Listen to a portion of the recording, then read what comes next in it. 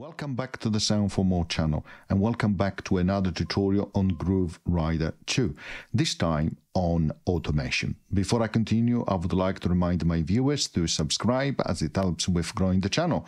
Additionally, if you would like to support what I do, please do check the instruction contained in each video description.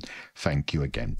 So let's click on Init and create a new pattern and select yes. Okay, so we don't have any clips defined. If we go to edit, it will say no clip selected on this part. So let's stick to uh, clips, double click here to create a clip and double click again to enter the clip editor mode. We click here on the pencil and we create some notes.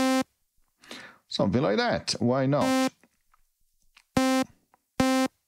And of course, you can, um, you've seen other tutorials, so you know how to use these controls. Now you can change the length um, like so, right? I could say quantize the end to quarter, for example, and the beginning to quarter as well.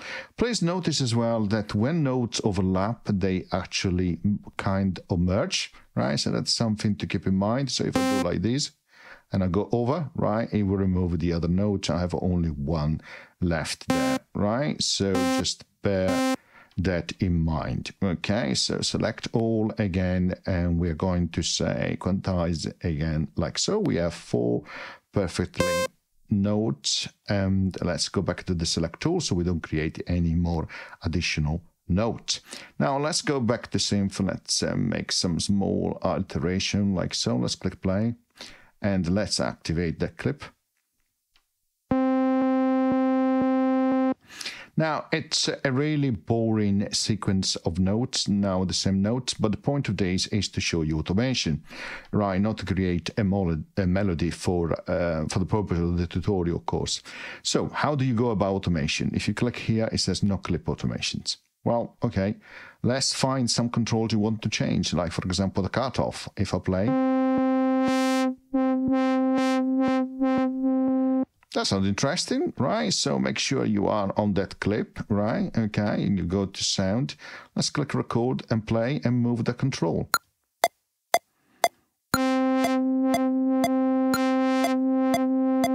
Now you can see as he plays, he's moving the control as well.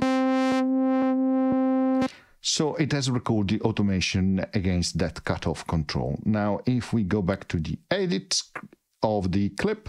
You can see now it says here, clip one, automation one. Click here and you can see layer one, filter off, and you can delete all the automation as well. Click on the first one and you can see you have uh, the automation against the filter cut off. Now here you have a number of controls. Um, the first one is the selection tool, which of course you can use to select different parts, okay, and then you can move them as you prefer, or you can click and hold and select multiple parts as well.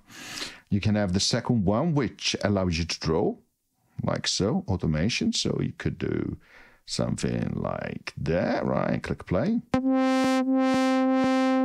It's great. You can have this control here, which is like quantize, like so. You can have perfect steps.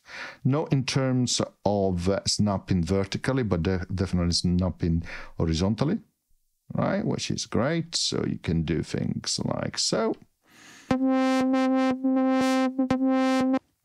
And then, of course, you can use also the eraser here to remove some of the points. Click and hold, and you can also remove multiple points.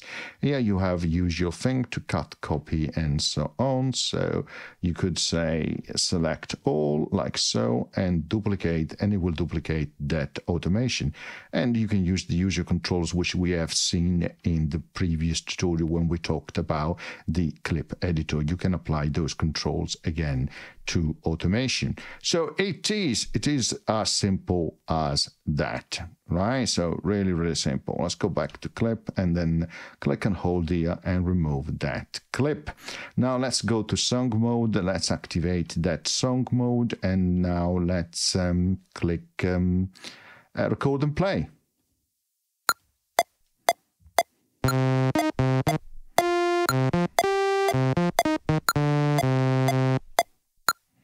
So we recorded a simple melody, right? Nice and simple. Let's uh, make some alteration like so perhaps. And so we can now delete this part like so. We have that particular clip, right? This is clip and number 17 we have explained how that work of course in the song mode tutorial now we can record again automation against um, these as well why not it says here part one no automation.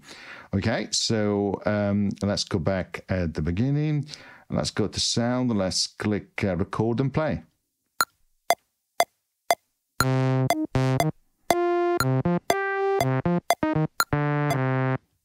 Let's click stop. As you can see, I moved the cutoff and resonance control.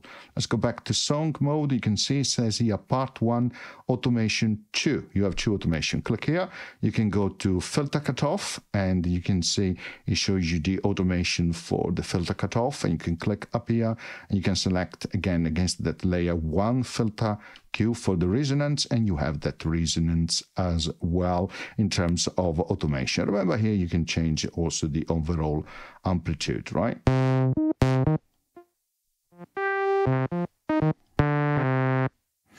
And then, of course, you can use the same controls here that you've seen on the clip editor regarding automation, and you can edit that um, um, the automation uh, curve as you prefer like so. You can create some interesting uh, effect.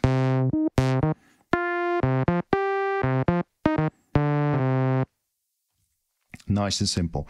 Now you can delete the selected one because we have more than one. You can delete them all. Now, if you click on the exit here, you uh, exit here, you can see there is automation says an A here against part